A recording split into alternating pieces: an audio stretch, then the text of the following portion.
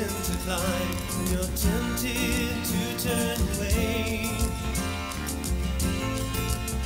But through the power of prayer, you can move it with faith. When you call to God, just keep knocking on heaven's door. He is faithful to you. His strength will be your reward. There is power, power when you pray, power when you stay on your knees through the night. Wait for the answer to come, even after the morning light. There is power, power when you pray, power when you pray the impossible away.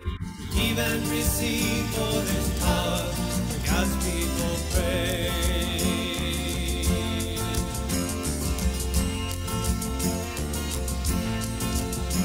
You belong to the King. He loves you perfectly. It's a song you can sing. You're a member of royalty. When you need him to act, and it looks like you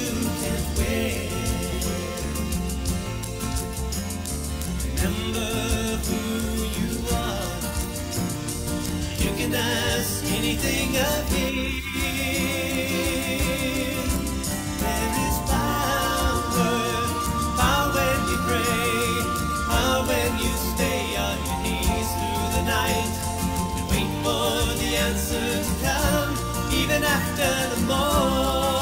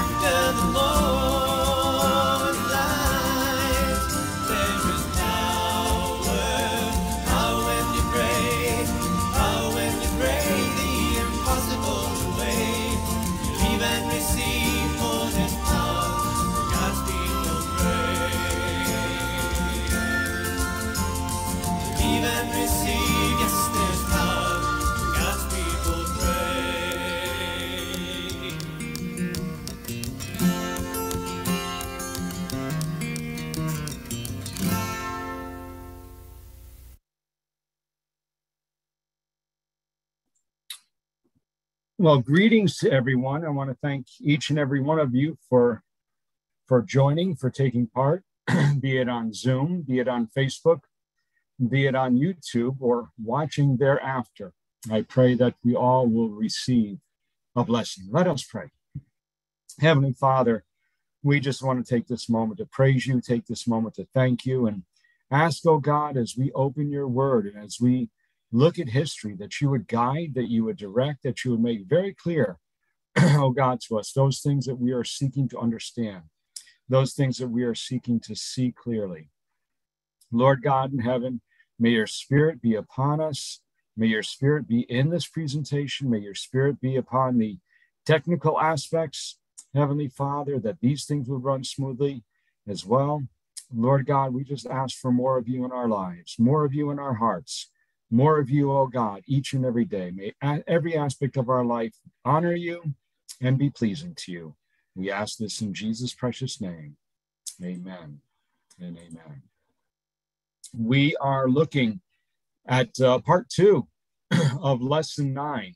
If any man worship the beast. Let's do a little recap of what we looked at so far. The first angel tells us to worship the creator. The third angel warns us not to worship the beast. And so the big question when it comes to three angels' messages is who are you going to worship? And so we want to take a look. We want to understand as we go through these lessons what it means to worship the beast. Uh, and to understand what it means to worship the beast, we want to identify uh, the beast. And many associate the beast of Revelation 13 with the Antichrist uh, that the Apostle John mentions in four of his four passages of his letters, uh, first and, and second John. He has a third John as well, but Antichrist is not mentioned there. So this Antichrist uh, or this beast is identified in three different passages uh, or given details of in three different passages in scripture. There's the little horn of Daniel 7, there's the beast of Revelation 13, and then there's this man of sin in Second Thessalonians 2. And we've seen altogether 15 identifying marks. 10 of them came to us from Daniel 7. It'll be a little kingdom, it'll be it'll rise up within divided Rome, it'll rise after 476 AD, uh, when the last Western Roman emperor abdicated his throne. Uh, the last emperor in Rome itself. It'll uproot three kingdoms. It'll be diverse or different from the other. It will have the vision and ambition of a man. It'll speak great things. It'll persecute God's people. It will think to change God's law or intend to change God's law. It will rule for 1260 years. That is the literal understanding from the time, times, and half a times. And when we look at the beast of Revelation 13, he has many of the same identifying characteristics. Uh, while the little horn is a little kingdom, a beast is uh, is identical to a kingdom or is, uh, is symbolic of a kingdom. While the little horn rises up within the divided Roman Empire, this power rises up from the sea, uh, where multitudes, nations, kindreds, and, and tongues are. While the beast speaks, or while the little horn speaks great and pompous things, the beast speaks great things and blasphemies. Uh, while the little horn of Daniel 7 persecutes God, God's people, so does the beast of Revelation 13. It wars against God's people. While the little horn rules for a time, times, and half a times, the beast of Revelation uh, 13 rules for 42 months, which as well is symbolic of 1260 years. But we were given some more identifying characteristics of this power uh, this beast of Revelation 13. It is the same as little horn of Daniel 7, but we're given more details. We're told that it gets its authority from the devil. We're told it's going to receive a deadly wound. We're told that this wound is going to be healed and that it will be worshiped as well. So we have 14 identifying characteristics of these identical powers the little horn of Daniel 7, the beast of Revelation 13, and Second Thessalonians chapter 2 speaks of a man of sin or a man of lawlessness. And when we take a look at the identifying characteristics of this passage in Second Thessalonians 2 of this character, we see again that this is the same as the little horn of Daniel 7, the same as the beast of Revelation 13. While the Little horn, we're told, is not going to rise until after the fall of Rome. So too, the man of sin was being withheld by the Roman Empire at the time Second Thessalonians was written. While the little horn speaks blasphemous things or boastful things, great things, the beast of Revelation 13 speaks great things and blasphemies. So too, the man of sin claims to be God and claims to have the authority to forgive by sitting in the temple of God the little horn of Daniel 7 uh, thinks or intends to change God's law, so too the man of sin is referred to as the lawless one. And as the beast of Revelation 13 receives its authority from the devil, so the man of sin is going to be a secret agent of the devil. Uh, and as the beast of Revelation 13 will be worshiped, the man of sin in Second Thessalonians 2 will seek to be worshiped. And then Second Thessalonians 2 gives us another, another identifying characteristic, and that is that it will follow an apostasy, a falling out, a falling away in the church. So then, who is this Antichrist that we have drawn uh, 15 identifying marks uh, of? Who is this Antichrist? Who is this little horn of Daniel 7? Who is this beast of Revelation 13? Who is this man of sin? In Second Thessalonians 2. Well, during the Protestant Reformation, uh, this became something that uh, all who were uh, pursuing, all who were seeking uh, to know the truth, all were in agreement on it. From the book All Roads Lead to Rome, notice what we're told Wycliffe, Tyndale, Luther, Calvin, Cranmer. In the 17th century, Bunyan, he is the author of the classic uh, Pilgrim's Progress. The translators of the King James Bible and the men who published the Westminster and Baptist Confession of Faith, Sir Isaac Newton, John Wesley, Whitefield, Jonathan Edwards, and more recently, Spurgeon, Bishop J.C. Ryle, and Dr. Martyn Lloyd-Jones. These men, among countless others, all saw the office of the papacy as the Antichrist. The reformers and their heirs were great scholars and knew the Word of God and the Holy Spirit as a living teacher. What is the papacy? The papacy is the office of the Pope, the bishop of Rome, the head of the Roman Catholic Church. From the magazine Newsweek, November 1st, 1999, Martin Luther was the first to identify the papacy as such with the Antichrist. I want to stop there for a moment. That is not entirely correct. Uh, John Wycliffe, 100 years or so before him, uh, said that he believed that the Pope was the Antichrist. But anyway, at first, he, Luther, discounted the values of, value of John's apocalypse, that is the book of Revelation, but then he saw in it a revelation of the Church of Rome as a deceiving Antichrist, a view that was to become dogma for all Protestant churches. At one time, all Protestantism, all the world of Protestantism agreed that the papacy is the Antichrist. But much of Protestantism today has put aside that idea. That's another study, though. We'll get into that in a future class. So then, how do these 15 identifying characteristics apply to the papacy, apply to the Pope? I want to point out that this is not an attack on Catholics. God has many people uh, within the Roman Catholic Church. This instead is a revelation of the office of the Bishop of Rome, that the Bible has given to us a warning that within Christianity itself will arise one who will seek to subvert the gospel. As we looked at in the passages of the letters of John, we saw that the most dangerous threats are often internal. It is not the atheist that is the greatest danger to Christianity. It is not the secularist. It is not the uh, not those who outright attack or reject Christianity. No, it is those within Christianity who are led by the devil rather than by the spirits of God. So let's take a look at these identifying characteristics, these 15 characteristics, and see how do they apply to the papacy. To begin with, we saw that it is a little kingdom. Daniel 7 spoke of the little horn. Uh, it is a it is a kingdom, and is that the case for the Vatican? When we're talking about the Vatican, we are talking about the city state, the uh, where the Pope uh, is supreme ruler. I want to point out that 180 nations at this point have diplomatic relationships with the Vatican, uh, where the Pope is supreme ruler.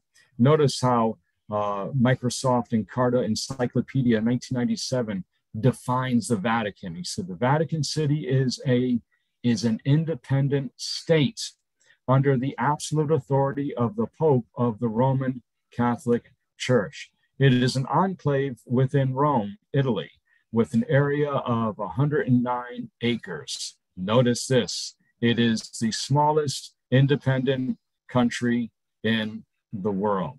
Vatican City was reestablished in 1929 under the terms of the Lateran Treaty. So, does it fit this characteristic as a little kingdom? It certainly does. What about the second characteristic, arising within the ancient Roman Empire? Well, it arose within Rome itself. You can't get more central than that. It arises after 476 AD. Uh, the last Roman emperor abdicated his throne in 476 AD. And the prophecy tells us it'll rise after the fall of the fourth kingdom, after the fall of the Roman Empire. and this is the case. We're going to get more deeply into this in 538 AD. There was a there was a decree issued in 533 that became effective in 538. We'll get a little bit more into this uh, decree, but no, let's notice this quote from the history of the Christian Church.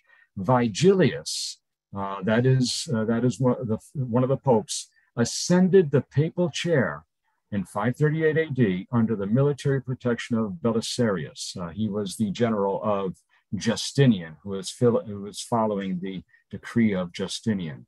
So Vigilius was one of, was the bishop of Rome at that time in 538 AD, and he ascended the papal chair under the military protection of Bel- Belisarius. It will uproot three kingdoms. We took a look at this when we when we uh, in a couple of weeks ago when we took a look at the the first part of class nine, and we saw that there were three tribes that were uprooted that were no longer exists today. Uh, that formed part of the breakup of the Roman Empire, the Heruli, the Vandals, and the Ostrogoths. These were considered tribes who, uh, barbaric tribes who uh, clung to a form of Christianity called Arianism.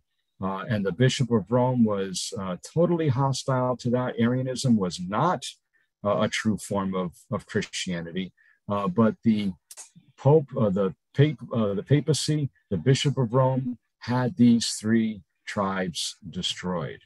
It was going to be diverse or different from the other kingdoms, the other kingdoms that came about the horns, the other horns that came about as a result of the fall of the Roman Empire. Notice uh, from the book The Church and Churches, pages 42 and 43, we read the following Out of the ruins of the Roman Empire, there gradually arose a new order of states whose central point was the papal see, another term for the papacy. Therefore, inevitably, resulted a position not only new, but very different from the former. Uh, what, what, way is it different? All the other tribes uh, that came about as a result, all the other nations that came about as a result of the fall of the Roman Empire uh, were both uh, were, were a political or military power, but the papacy was largely a religious power, uh, as well as controlling land uh, you, you may hear of in history in Italy the papal states. As well as controlling land, as well as being a political power, it was also a religious power. Uh, we are told that the little horn of Daniel 7 had the eyes of a man. And as we studied this a little more carefully, we understood that to mean it had the vision of a man or the ambition of a man. That is in contrast uh, to what its claim would be that it is seeking uh, ha- that it is seeking to serve God. Uh, notice from Prompta Bibliotheca, Article 2, uh, the, the quote or the description of the papacy says the Pope is crowned with a triple crown as King of heaven and of earth and of hell. And so the Pope was seeking to be ultimate authority, not only on earth, but also in heaven and also from what they conceived of as a subterranean treat, retreat uh, where condemned souls are being burned today.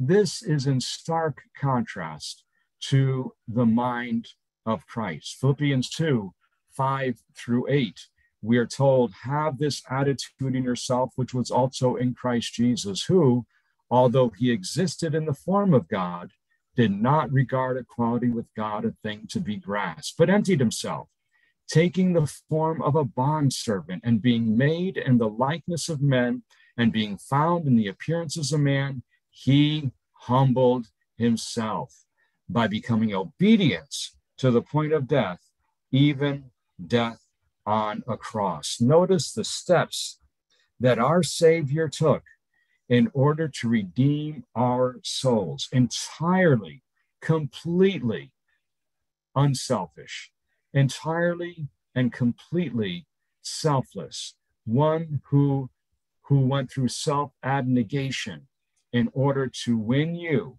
in order to win me. He was not seeking to control. He was not seeking to rule, he was seeking to serve, he was seeking to save. Notice the steps that he took in order to carry out these things. He, he let go of equality with God and he emptied himself. He became a servant. He took on our humanity. He humbled himself, even to the point of death, even death on a cross, the most humiliating and the most shameful form of death in that day. So, as we compare the focus of Christ with the focus of the Antichrist, notice what comes out. Jesus humbled himself, Antichrist exalts himself. He has the vision, he has the ambition of a man. This is what we are by nature. This is what the enemy of all souls instilled in our first mother, in our first parents, and this is what he seeks to instill in us. No, the, the Pope or anybody else who has not been born again uh, does not have the vision uh, of God seeking to serve. No, they have the vision of a man, the ambition of a man seeking to exalt itself.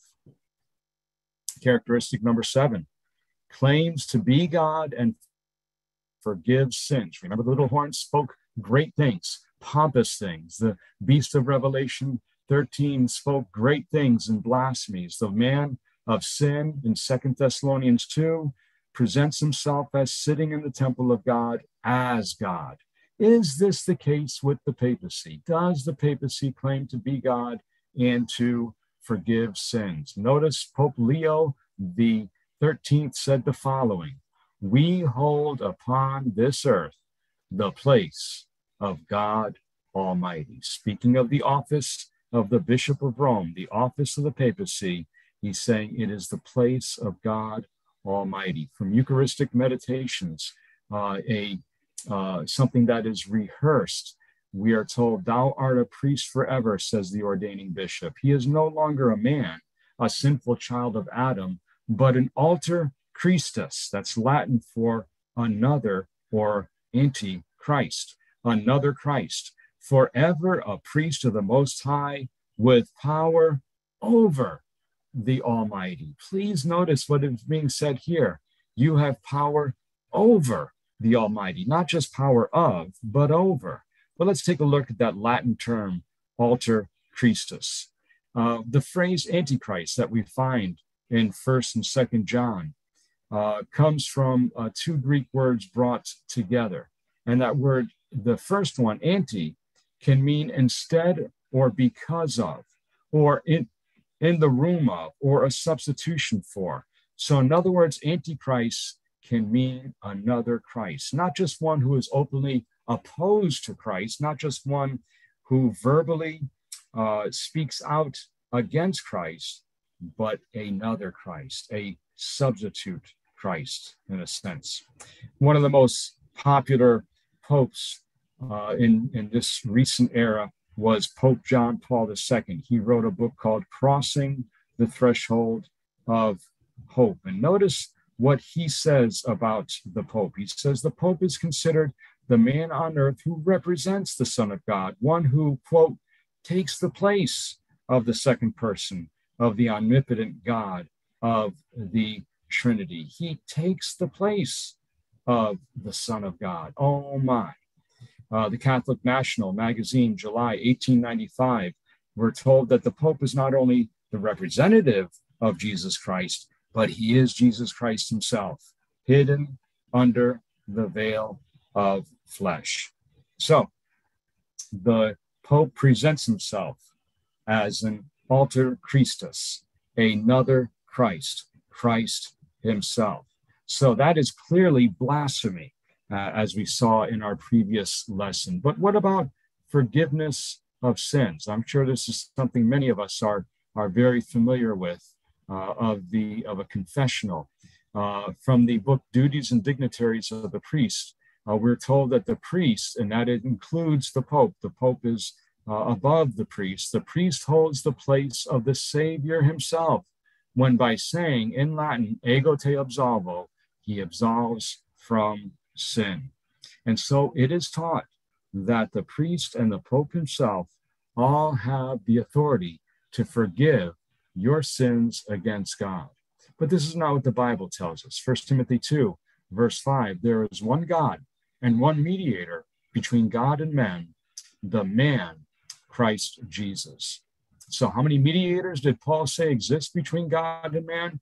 Only one, and that is Jesus Christ. If you have if you have fallen short, if you have sinned, if you have departed from the way of the Lord, you can come to Jesus and you can know that he will represent you anew before the Father. If we confess our sins, he is faithful and just to forgive us our sins and cleanse us from all unrighteousness. Characteristic number eight this power, this little horn of Daniel 7, this beast of Revelation 13, this man of sin in Second Thessalonians 2 will persecute God's people. William Edward Lecky wrote the following in his book, The History of the Rise of the Spirit of Rationalism in Europe that the Church of Rome has shed more innocent blood than any other institution that has ever existed among mankind will be questioned by no Protestant who has a competent history and knowledge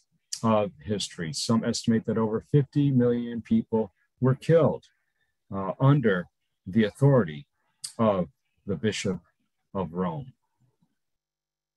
Identifying characteristic number nine, he thinks or intends to change God's law. Notice from the this quote uh, from 1455, uh, Pope Nicholas V. The Pope has the power to change times and to abrogate laws and to dispense with all things, even the precepts of Christ. Oh my, it's interesting how so often in history we find a quote that seems to come directly from the Bible. Uh, Daniel 7, verse 25 says he will think or intend to change times and laws. And here we have it right there uh, that the Pope, Pope Nicholas V, claimed to have that authority, that power. What has the papacy done? If you look at a catechism, you'll see that they removed the second commandment. Their argument is that it is merely a footnote of the first commandment. The fourth commandment, the commandment for the Sabbath, they changed. And the 10th commandment, they divided. Rather than making it one, they said, You shall not covet your neighbor's wife. That's number nine in their catechism. And then number 10, you shall not covet your neighbor's possessions. Uh, notice again from Prompta Bibliotheca, Article 2 the Pope can modify divine law since his power is not of man, but of God, and he acts as vicegerent of God upon earth. So the papacy has the has claims that they have the authority to modify the law of God.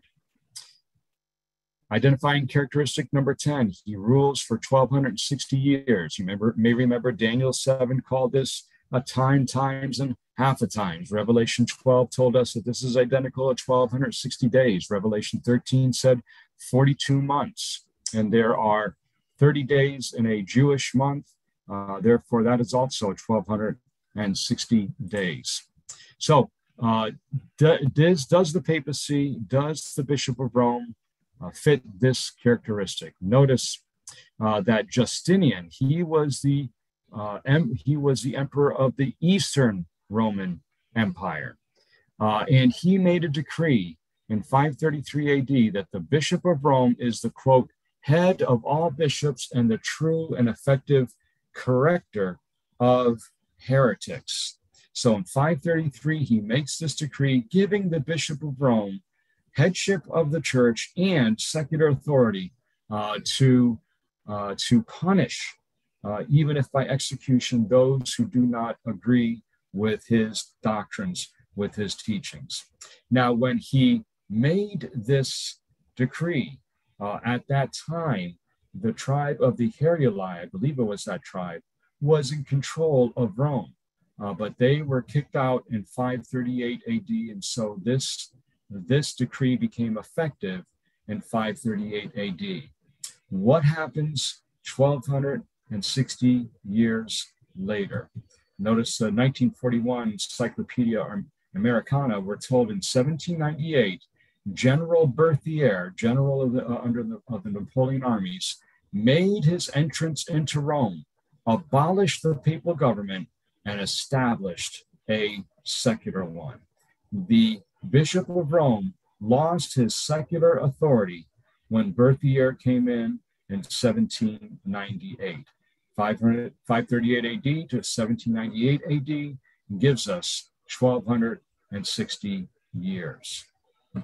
So, so far, the first 10 characteristics have all been fulfilled by the Bishop of Rome, the papacy. Let's continue. We've got five more. Number 11, he is given authority by the devil. Uh, Revelation, book of Revelation refers to the devil as the dragon. And Revelation 13, 2 says, The dragon gave him his power and his seat and great authority. Again, we're going to find that historians almost mimic word for word the phrases of the Bible from uh, from Labanca, who was a prof- who was a professor of history at the University of Rome. He said the following: To the succession of C- of the Caesars, that is, you know, Augustus, Justinian, Tiberius, etc. To the succession of the Caesars came the succession of the pontiffs in Rome. When Constantine left Rome, he gave his notice, his seat to the pontiff. Uh, now, the dragon of Revelation 12 worked through imperial Rome and established papal Rome as a new authority. From Stanley's History, page 40, the popes filled the place of the vacant emperors of Rome, inheriting their prestige and titles from paganism. Constantine left all to the Bishop of Rome. The papacy is but the ghost of the deceased Roman Empire sitting crowned upon its grave. So, uh, did the devil give its authority uh, to the Pope? Yes, it did through the imperial Roman Empire. Characteristic number 12 it receives a deadly wound. Let's go back to that event in 1798.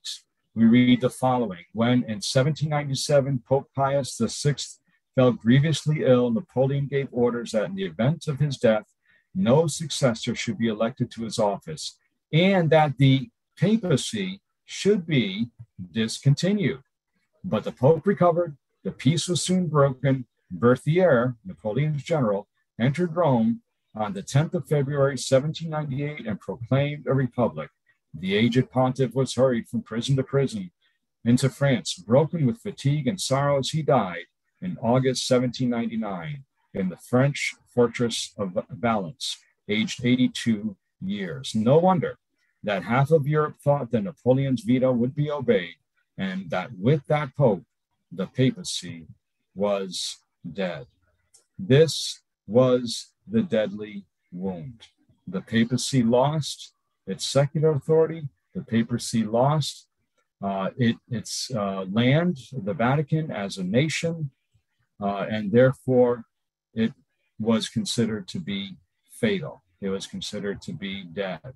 But the Word of God claims that the wound would be healed. When you follow the history of the papacy since 1798, you will see that little by little, more and more, the Bishop of Rome has gained more authority and more influence in the world. In my lifetime, I know John Paul II uh, was a man very much marveled at very much influential uh, in American uh, both North American, South American, and European uh, decisions and, and politics, Eastern European uh, as well. Thomas Gordon in 1999 wrote the following The Vatican's interaction with the world has, in the period since World War II, been at the highest point it has ever had. Now, why does he say that?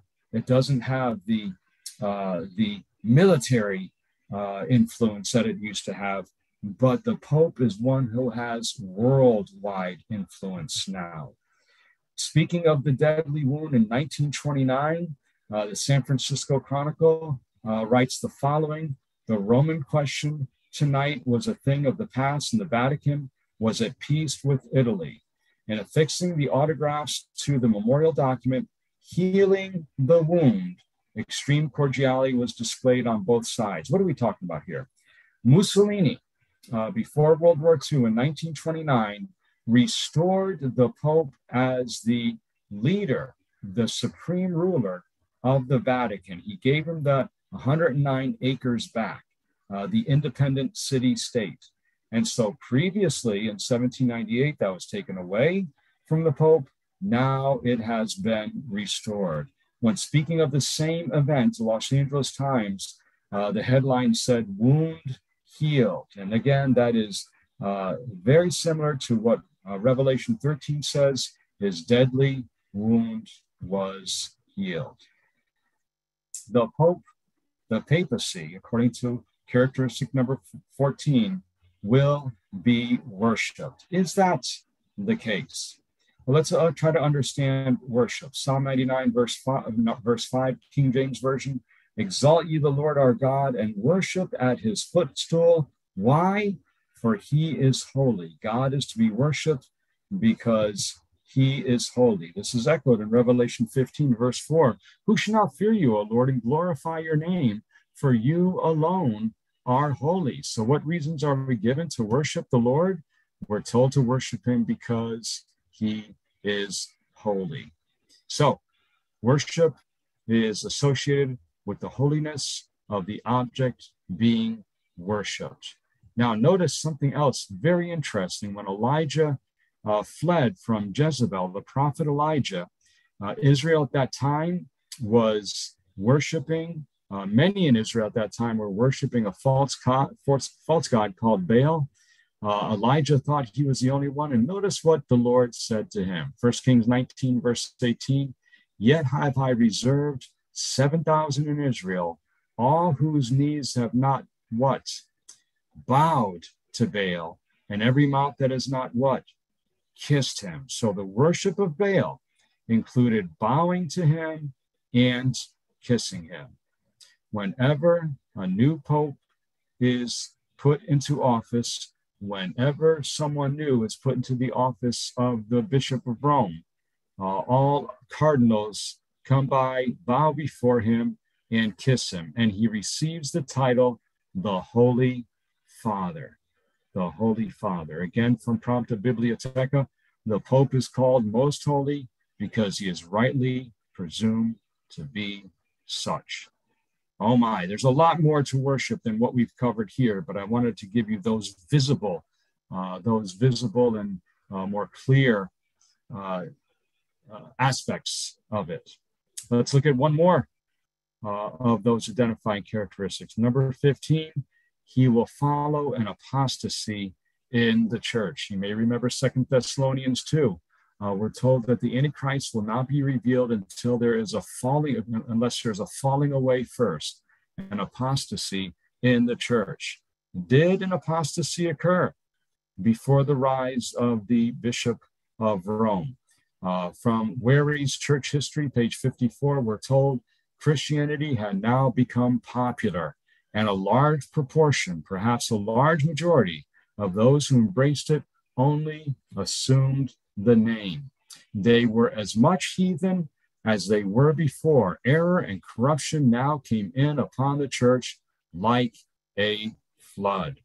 History of Civilization, Volume 5, uh, section one, pagan ceremonies were established in Christian churches until Christianity exhibited so grotesque and hideous a form that its best features were lost and its early loveliness altogether destroyed. So the early church, little by little, step by step, embraced paganism, and the Bishop of Rome, uh, when he became the most influential figure within Christianity, expedited that process.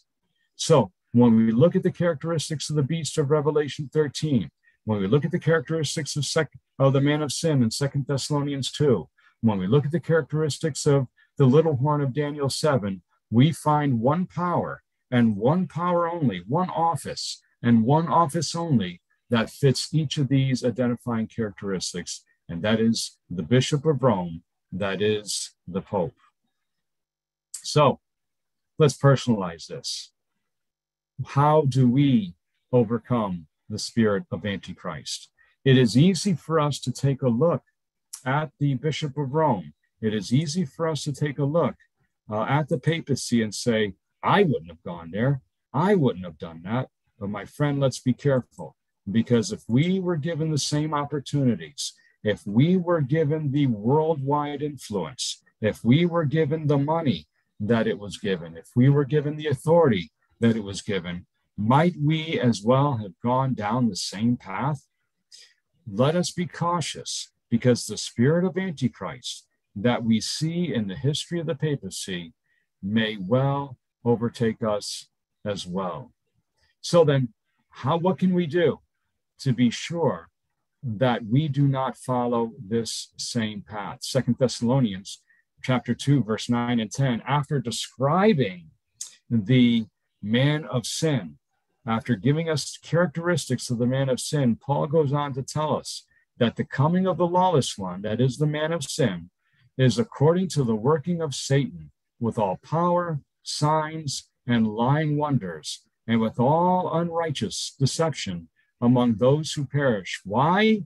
Because they did not receive the love of the truth, that they might be saved. If we want to overcome the spirit of Antichrist, God is seeking to place in our hearts a love of the truth, and we must accept that love that he seeks to give to us. First John 4, verses 1 through 4. Believe it, beloved, do not believe every spirit, but test the spirits, whether they are of God. By this you know the Spirit of God.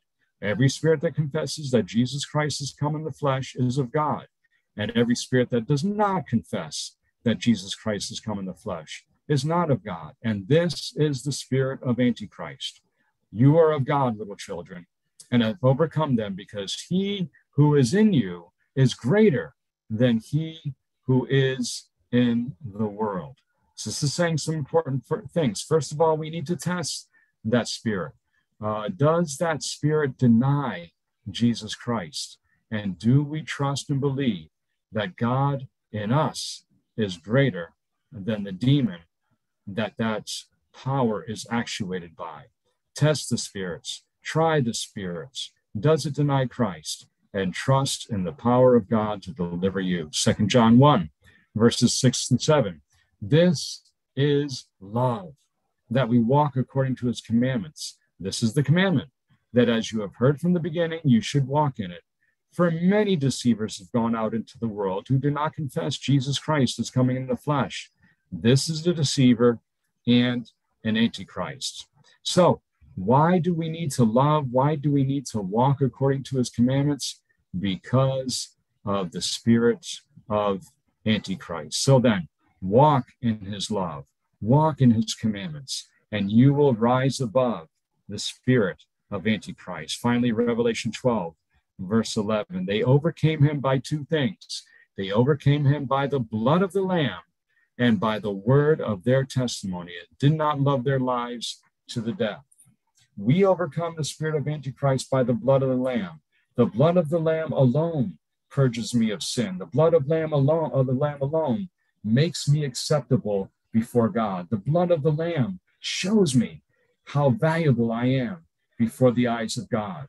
And this is so critical, critical when the spirit of Antichrist seeks to draw me away into the lords of the world. Furthermore, I overcome by the word of my testimony, as I confess to others, as I witness to others of the goodness of the Lord and what he has done for me, my faith is strengthened. My understanding of him deepens. My love for him grows, and my walk with him grows closer. So, how do we overcome Antichrist? Trust in the blood of Christ and confess faith in him. The history of the beast, the history of the man of sin, the history of the little horn of Daniel 7 the history of, of Antichrist says something very important to us. If we do not surrender control, we'll be obsessed with having it.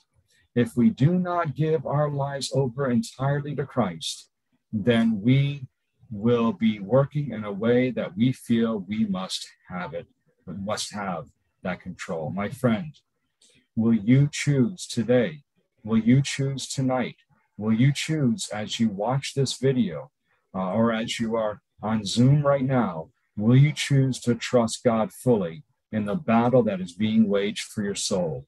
The spirit of Antichrist is seeking to overcome you. The spirit of Antichrist is seeking to lead you in a path where you will deny Christ and seek to exalt yourself. Will you choose to trust God so that this will not take place within you? We're going to close at this time with a word of prayer, and I will stop the live stream. Uh, and for anybody who's on Zoom right now, I'll entertain uh, any questions. Let's have a word of prayer. Father, Lord God in heaven, we just want to praise you and give you thanks that you who are in us is greater than the world, and that we have no reason to fear that when the devil comes to us, seeking to lead us to a spirit of self exaltation, seeking to lead us to a spirit where we seek to control all things, uh, we know and believe that we can trust entirely in you. Heavenly Father, when the allurements are set before us, that were set before the Bishop of Rome, that were set before the church, may we not follow that path, O God, but as Jesus humbled himself, may we humble ourselves as well. Continue to be servants of yours, follow you, loving not our lives unto the death. This is our prayer in the precious name of Jesus. Amen. Amen. Thank you so much for joining us tonight, and God bless you.